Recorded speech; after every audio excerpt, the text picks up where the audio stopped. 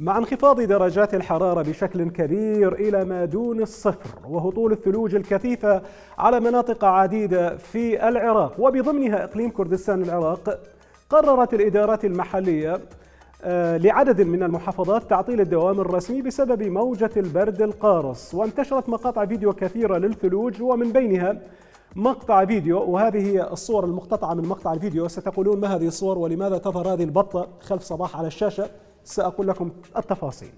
مقطع الفيديو هذا لمواطن كردي عثر بالصدفة على وزة برية متجمدة من شدة البرد. يبدو أنها نفقت.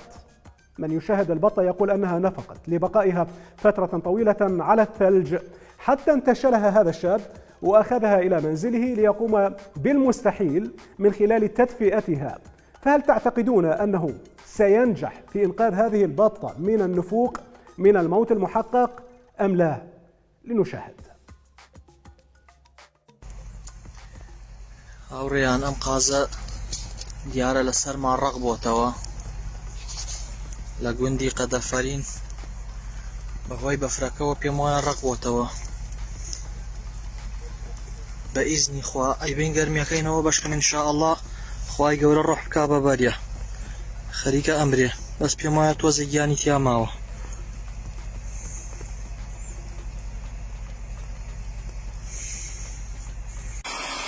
بەستنی خوا محاوەی تەواوی لەگەڵ ئاکەم بەستن شاء الله خوای گەورەی ڕاحگیارڕێتەوە بە بەریا. نەیان کوژن ئازاریان نەدەن لە هەر شوێنێک دیمەنێکی وایان بینی هەوڵ بدەن محاوەی لەگەڵا بکەن. انشاء الله خوای گەورە سەرکەوتیار ئەکات.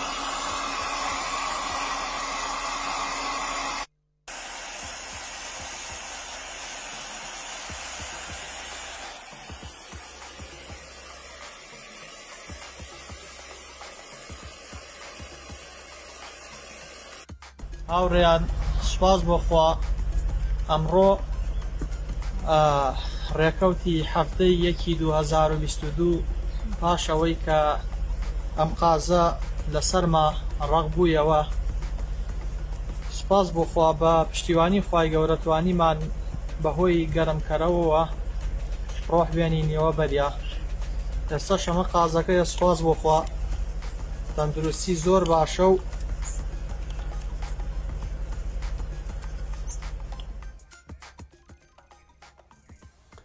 إذا تمكن هذا الشاب أخيرا من إعادة الحياة إلى هذه البطة المسكينة وعادت أفضل حالة مما كانت عليه.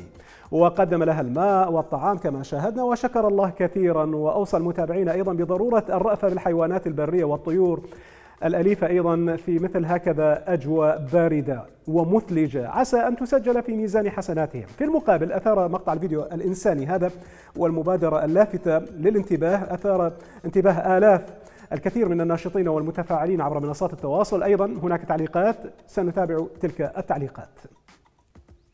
نبدأ مع أبو آدم. يقول أبو آدم الله يبارك بيك بس ما شفنا تكملة الفيديو. على الغداء لو على العشاء شو سويت بيها تعليق آخر من ليفينج يقول ليفينا قبل أسبوعين جتنا بزونة يم باب المطبخ تضرب الباب طلعت تشوفني إيدها المكسورة تشوفني إيدها المكسورة ومنظرها يقهر خطية. سويت لها بيت وفراش وغطاء وداريناها بالأكل والحليب آني وأطفالي لحد ما صارت زينة وراحت. صح أكره البزازين بس الرحمة مطلوبة والحيوان لا حول ولا قوة بهذا البرد.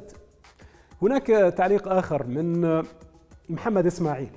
كاكا بارك الله بيك وجزاك الله خير الجزاء. بس كاكا بشرفك تاخذها وتدفيها. الدورة ترجعها وتشمرها بالثلج. هاي شلون رهمتها؟ أيضا هناك تعليق من اللا منتمي يقول عاشت إيدك وحياتك ورحم الله والديك سبحان الله. كم وجدنا مثل هذه الحالات ولم نلقي لها بالا لأننا ظننا أنها قد نفقت وربما لو عالجناها لنجت هذه معجزة. جزاك الله خيرا. يقول هاشم في تعليقه عن عملية إنقاذ هذه البطة البرية الله يبارك فيك وينطيك الصحة والعافية على هاي المبادرة الإنسانية. والله يكثر من أمثالك ويزيد بنعمتك يا طيب يا ذهب صافي. وربي يحفظك. أيضا تعليق من سعد يقول سعد الخبر الإنساني الإيجابي الوحيد الذي يسر النفس والله يبارك بيك كاكب وبميزان حسناتك.